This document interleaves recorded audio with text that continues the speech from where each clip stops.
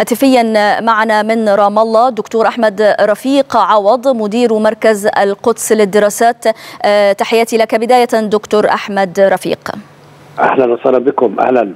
أهلا بك. يعني دكتور أحمد كما تابعنا جميعا يعني الجلسة ليلة أمس وكما قلنا أنها لم تفضي إلى جديد. مندوب فلسطين قالها صراحة قال إن مجلس الأمن عاجز عن اتخاذ قرار بوقف إطلاق النار في غزة وربما يعني وجدنا عدة قرارات لكن لم يكن من ضمنها قرار صريح بوقف إطلاق النار. فما الذي يعني يغل يد مجلس الأمن عن إصدار قرار كهذا؟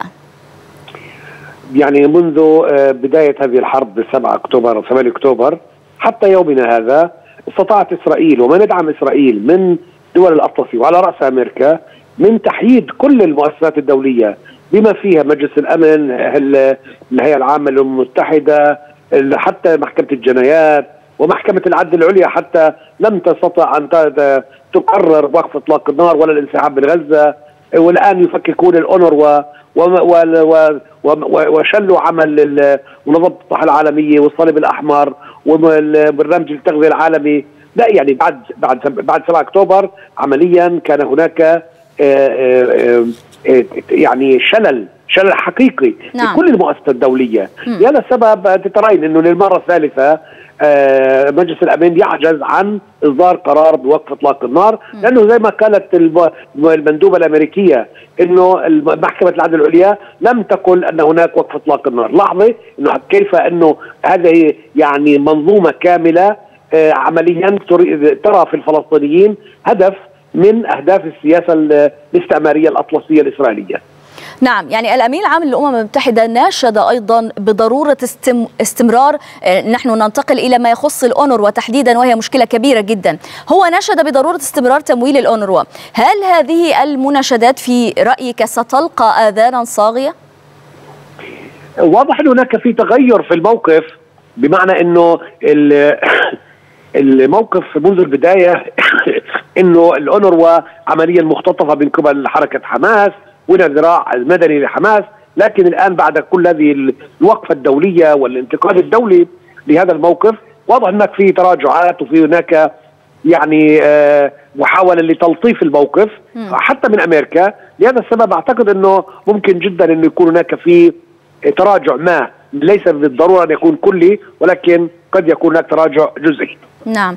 تتحدث عن تلطيف من الجانب الأمريكي، الولايات المتحدة الأمريكية دائما ما تصرح بأنه يجب إيصال المساعدات إلى قطاع غزة في أقصى سرعة وبكميات كبيرة، دائما تتحدث عن ذلك. ولكن نجدها تقوم بتعليق الاونروا ومساعدتها، كيف تفهم هذا الموقف المتناقض دائما من التصريحات الخاصة بمسؤولي الولايات المتحدة الأمريكية؟ لأن الموقف ضد الأونروا موقف مبيت عمليا موقف إسرائيلي مبيت وموقف أمريكي إسرائيلي مبيت من من من سنين طويلة على فكرة. م. كان هناك محاولات كبير كبيرة وحثيثة أمريكية إسرائيلية لمحاولة تفكيك أو إضعاف أو محاصرة الأونروا اسرائيل وأمريكا هم يريدون أن يجعلوا من المساعدات سيف مسلط على رقاب الفلسطينيين، بكلمات أخرى هم يريدون أن تكون المساعدات الواصلة إلى الفلسطينيين هي يعني بيد إسرائيلية حتى يكون هناك التحكم بحجمها وكميتها وتحج والتحكم بمن لمن تصل إليه. عمليا الآن في هناك تفكير بأنه جيش الاحتلال الإسرائيلي هو الذي يقوم بتوزيع المساعدات. شفتي وين؟ بمعنى أنه المساله تفكيك الأونروا ليس فقط لها أسباب سياسية واستراتيجية لا هي أيضا لها أسباب أمنية. بمعنى أنه إسرائيل تريد أن أن تسد مسد الأونروا هي التي تتحكم بالمساعدات وبالتالي تصبح تتحكم بالفلسطينيين امنيا وانسانيا. نعم. ربما هذه النقطة التي ذكرتها مؤخرا هي رواية من الروايات التي ذكرت خلال الشهور الماضية أن إسرائيل فعلا هي التي تتحكم في توزيع مساعدات الأونروا. هناك روايات كثيرة في كل الأحوال. لماذا دائما تتبنى الدول الغربية الرواية الإسرائيلية؟ وفيما يخص كما ذكرنا موضوع الأونروا وأن هناك تحريض بعد السابع من أكتوبر وأنها يعني توجه من قبل حماس. وهكذا. لماذا؟ على الرغم من وجود روايات أخرى كثيرة للجانب الآخر الجانب الفلسطيني والغزيين وروايات موثقة لكن دائما ما تتبنى الرواية الإسرائيلية. لماذا؟ لسببين سيدتي سببين لا ثالث لهما. اولا الالتزام بأمن إسرائيل هو التزام لاهوتي تماما من الغرب يعني. والمسألة الثانية التزام استعماري. لأنه إسرائيل هي جزء من المنظومة الأمنية والاقتصادية والفكرية والأمنية الغربية. وبالتالي إسرائيل هي جزء من الغرب المستعمر. أداة مخلب ورشة كبرى معسكر متقدم. لذلك يعني لأن هناك التزام كما قلت التزام ديني قوي حتى مش مش عادي التزام ديني قوي. وأيضا التزام استعماري قوي جدا. ولذلك إسرائيل جزء من المنظومة الأطلسية. نعم. هل نستطيع القول أو التكهن إنجاز التعبير أن هذه الرواية الخاصة بالأونروا وقطع إمداداتها هي استمرار للمسلسل الخفي الخاص بالتهجير عندما نقطع الغذاء والدواء والكساء والماء وكل شيء يتعلق بمعطيات الحياة الأساسية عن الفلسطينيين. إذا نحن نقوم بالضغط من أجل يعني تمرير هذا يعني الرواية أو هذه الهدف المنشود لدى إسرائيل وهو تهجير الفلسطينيين من أرضهم. وأضيف على ما ذكرتيه حضرتك بأنه أيضا انهاء فكرة اللاجئين أو زي ما بيقولوا إنه الانوروا جزء من المشكلة مش جزء من الحل بمعنى إنها تؤبد فكرة اللاجئين وبالتالي تسقط حق العودة وبالتالي تسقط فكرة الحل للقضية الفلسطينية على حساب إنه على حساب على تطبيق قرار 181 و 194 وبالتالي إسرائيل عندما تفكك الأونروا هي تفكك كثير من الأمور حق اللاجئين حق العودة حق تطبيق القانون الدولي. وأيضا هي مقدمة لتفكيك منظمات دولية أخرى. وبالتالي عمليا إسرائيل هي التي تريد أن تستفرد بالحل وأن تطبق الحل على الفلسطينيين وهو حل أمني لا يقوم على القانون الدولي ولا على مقررات الشرعية الدولية. نعم. يعني من المتعارف عليه أن الأونروا هي المسؤولة عن توزيع يعني المساعدات في قطاع غزة في حال تم استبعاد الأونروا إداريا. فمن ربما الأطراف المطروحة التي سيعول عليها في هذه المهمة؟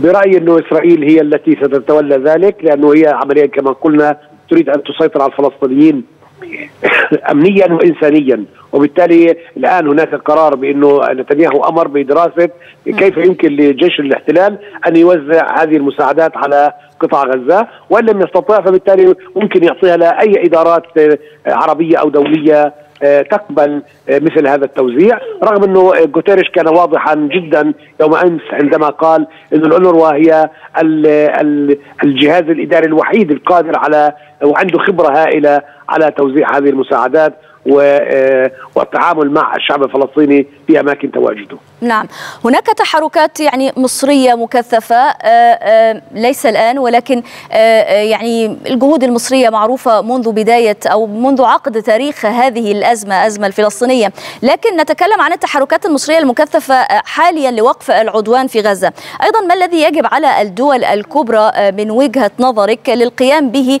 حيال هذا العدوان الإسرائيلي من أجل وقفه سريعا وإنهاء معاناة الشعب الفلسطيني؟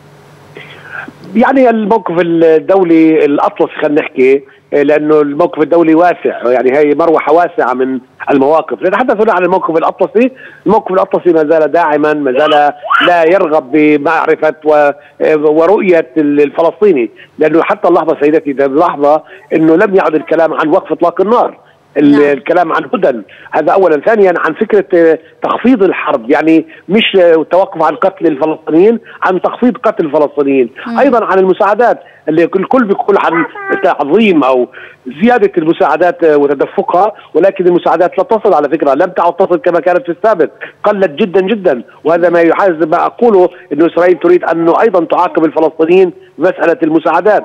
الآن الكلام عن دولة فلسطينية هذا كلام ذر الرواد في العيون لأنه الكلام عن دولة فلسطينية مؤجلة واللي هم بيحكوا عن عن أشياء معجلة جدا بمعنى إنه الفلسطيني يقبل التفاوض ويقبل التطبيع. وبالتالي الكلام يعني الاطلس الدول الأطلسية وعلى رأس أمريكا عمليا تقوم بعملية خداع كبرى وعملية شعاراتية ليس ليس لها ترجمة على الأرض. هي تعطي إسرائيل كامل الوقت تعطيهم كامل الحق وتغطيهم يعني ماليا وسياسيا وحتى اخلاقيا والفلسطيني لا تراه على الإطلاق لهذا السبب نحن ما زلنا في ذروة هذا الاشتباك حتى التفاوض لو طريقة التفاوض التي تجري الآن أعتقد أنه هي أيضا جزء منها لإكمال ما بدأته إسرائيل أو ما لم تستطع أن تحققه إسرائيل بالحرب تريد أن تحققه بالتفاوض. نعم.